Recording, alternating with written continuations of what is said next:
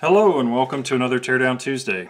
Today we're taking a look at a small electric motor and if we take a look at the rating plate on it you can see that this little guy is 115 volt 60 50 hertz 9 watt 1550 RPM so pretty straightforward as far as motors go nothing crazy single phase half ampish 0.58 amp and it's thermally protected so that'll make it interesting when we get it opened up to see how they thermally protected it. This style motor is pretty commonly found in refrigeration. It, you may be using it to, to blow air through a condenser or you might be using it to move air around inside a, a system or blow air across an evaporator. But uh, very common little motors. You can mount them from the base down here on these little foot pads or you can mount them from the back threading into these threaded holes. The mounting hub here has a pin drive, so we've got pins here, and then this center shaft is threaded. And if we pull that off, you can see the threads down inside there. So let's go ahead and open this up and take a look at how it's put together.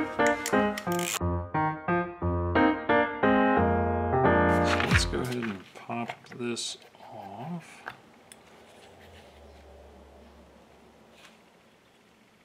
Interesting. So right away you can see the output shaft of the, the motor here is not a bearing.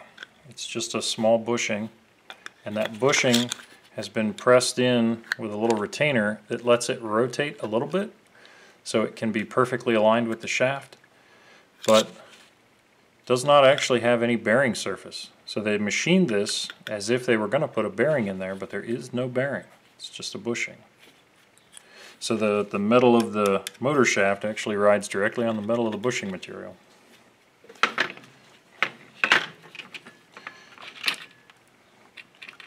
If we work this apart, we'll probably find another bushing in the back here too. Yep, so we've got the same situation back here.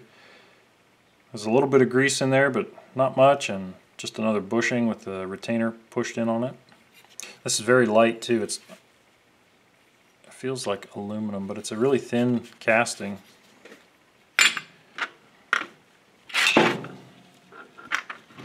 Alright, now we've got the motor core here. And you can see there's really nothing going on here. There's not any kind of brushes in here because this is not a brushed motor. There's not any kind of centrifugal switches. There's no real additional stuff going on inside here except for the basics the, and the thermal protection. So let's see if we can find the thermal protection. Taking a look at what they've done here. I'm going to guess that it's tucked down in over here.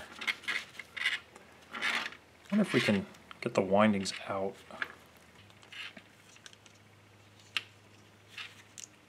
Ah, there's a trick.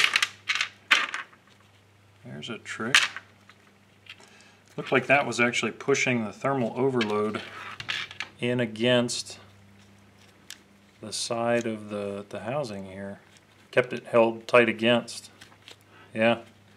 So it just kind of squeezed and compressed that thermal overload here against the outer casing.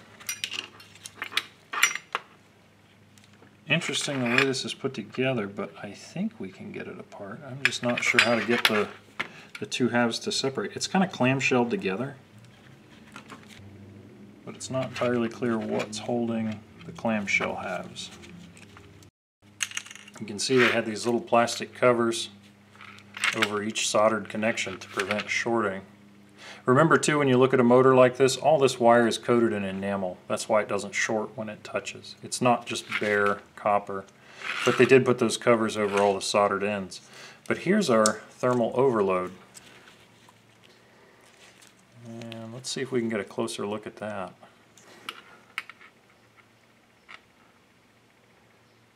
So it's probably a little bimetal. We might be able to get it apart. That's and we'll cut it out of the winding. But you can see what it does is it just opens circuit and it de-energizes the winding down here. So now that we've got that apart, we can start to see what's going on here. And there's some kind of, get my little pointer, there's some kind of insulator. It's not clear what that is. It's almost like a mica or something. But you can see there is some very small writing on the actual thermal switch itself. It looks like this thing's probably slid together and then squeezed to assemble it, but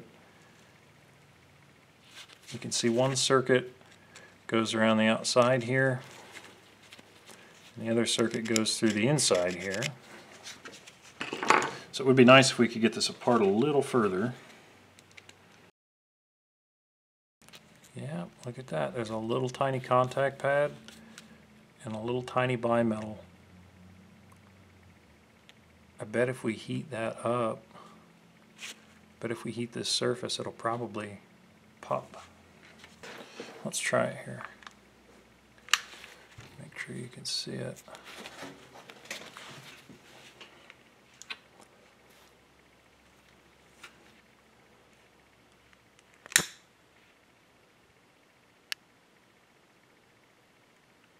Ah, there it goes. Look at that.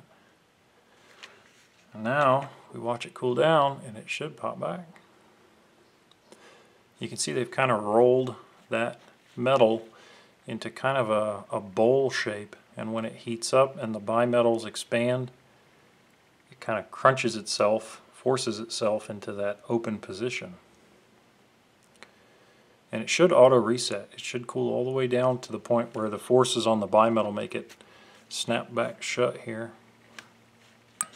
Yeah, there it goes. How cool is that? Let's do it again. Huh. Now that being a little electrical switch, it's putting load through this little tiny tab there. So if you were to have any kind of high current draw on this motor, like if it was locked up, when this switch auto reset, it would throw a little arc. Yeah, there it goes. It would throw a little arc when this came back in contact with the, the other side, the other pad. And eventually it could weld itself or burn itself open and stop working entirely. All right, so taking a look here,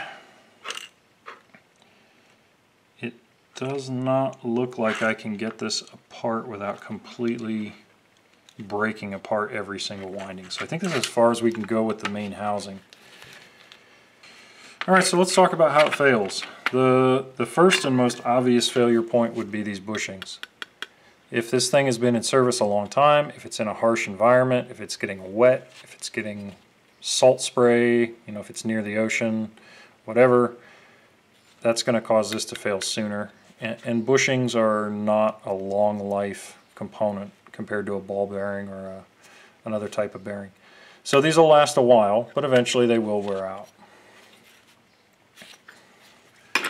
Uh, other failures we could see here are electrical related.